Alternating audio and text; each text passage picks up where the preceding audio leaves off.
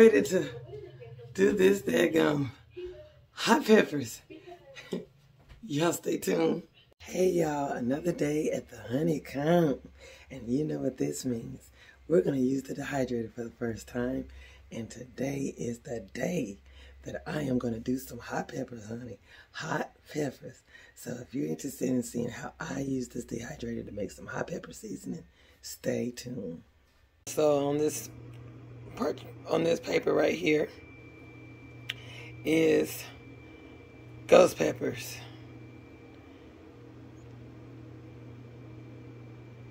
All different type of varieties of them, okay? On this one is jalapenos and on one poblano.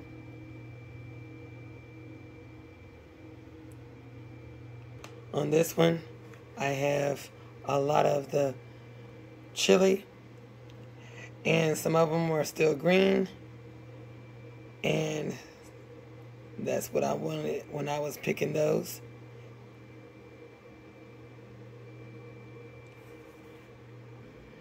On this tray are reapers.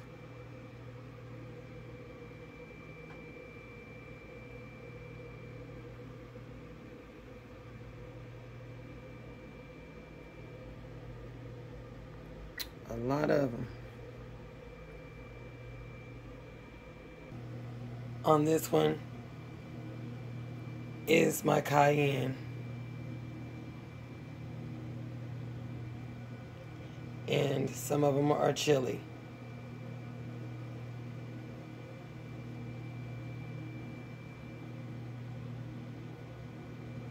honeybees so i had this started at 10 uh, for 10 hours um, 140 uh, degrees Fahrenheit. So as you can see here, this is how you would do it. You would hit that time button and you have your hour setting where you can go up and down for the time. Then you'll hit it again and then it'll go over to this side and you'll set your temperature. Okay? So it has it all in the book for you. If um, you're not... Uh, really not understanding the book, you can also Google it and it'll give you the exact same the time and everything. It'll break it down even in simpler form for you because sometimes manual books are not just uh, clear on how they're explaining things for you to operate a machine. So um, I I I was just really going through it. So I finally um, got it down by Googling it because it just don't make any sense to me. But I had it set up for 10 minutes. I mean, 10 hours. Sorry about that. And for 140 degrees. Okay, and that's how you would do the hot peppers um, for the Magic Mill dehydrator. So we'll check back with this and um, we can get started making our powder. Okay, so the first thing we're going to do is take out this top, set it to the side, and we're going to start with the chilies. go ahead and put them in here.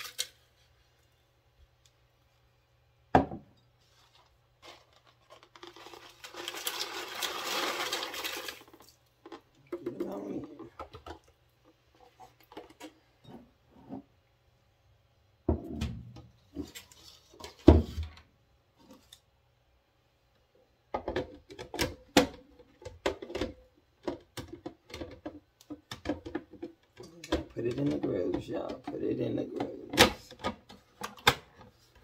Okay, and then I'm going to put something over this. Might, as um, I don't want the fumes to get up in my eyes or anything like that. So give me a minute and I'll get something real quick. So I got a little napkin here. Second thing you want to do is go ahead and plug it in.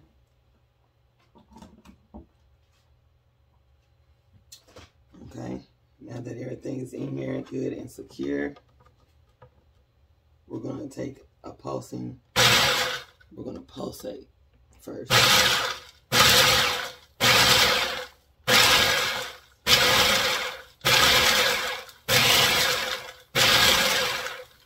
And then get it broken down pretty good. And what and the other thing that I want to tell you as well too, I have a strainer. So as you can see, I left the seeds in because I want to save the seeds for pepper flakes as well too. I'm, I'm making pepper flakes, a mixture of those, a mix, so I can have some pepper flakes and powder. So if you're going to make you uh, some seasonings and you want to leave the seeds in so you can have some pepper flakes as well, that's a good. And if you don't, take the seeds out. And then that way all you have is the skin to make the powder. Okay? So this is going to make a lot of noise and um, I'll come back with the finished product so that way you can see what I've done. Now that it's good and grinded, I'm going to show you what it looks like. And I'll bring it up a little closer so you can see. Get this spoon.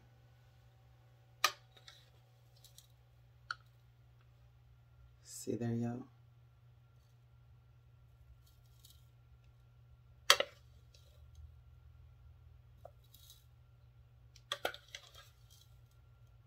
Now, Elle likes it also with the seeds in the powder to make it even hotter, right?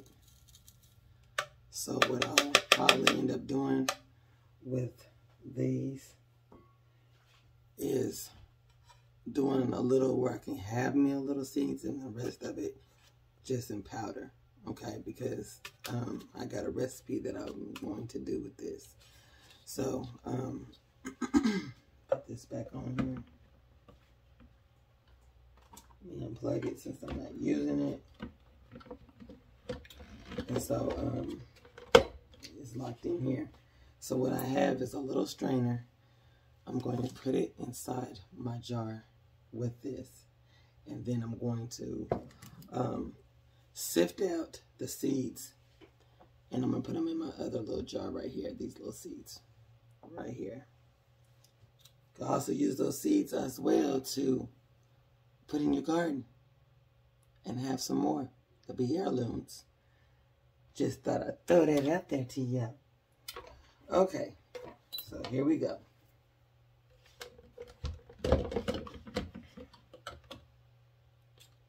So you can see what's going on. we're going to pour a little bit over in here. And then we're going to sift it. And after I get that in there, I'll get back with you. Flash. Lorenzo said, keep the seeds. Okay, we're going to keep the seeds in here. So you already know it's going to be extra hot. Extra, extra hot. But here is the powder, y'all. And, and it's so pretty. It is so pretty, as you can see. And it is fiery. Because uh, I was sneezing before I got back on the camera. That's how strong it is. Okay, that's how strong it is. But yes, this is a way you can do your hot peppers as well and turn it into a powder form as well. And I will be filling this jar up and filling this jar up until I am done with that and then you'll have your lid. And all you have to do is put it on. And yeah, there it is, y'all. The green chili habanero powder seasoning. Just like that. And I'm going to do the same thing with the chilies as well. The red chili habanero. I'm going to be doing the same thing as well. So I'll be using a smaller container for that. Until then. so if you enjoyed this video and the content that I gave you, feel free to do it yourself. And I challenge, I challenge, let me see. I know I made my decision and I'm going to pass this on to Cassie from Becoming a Farm Girl. Here you go, Cassie. Thank y'all for coming to L&L Honeycomb Homestead. And hey, y'all, let's grow. Let's grow.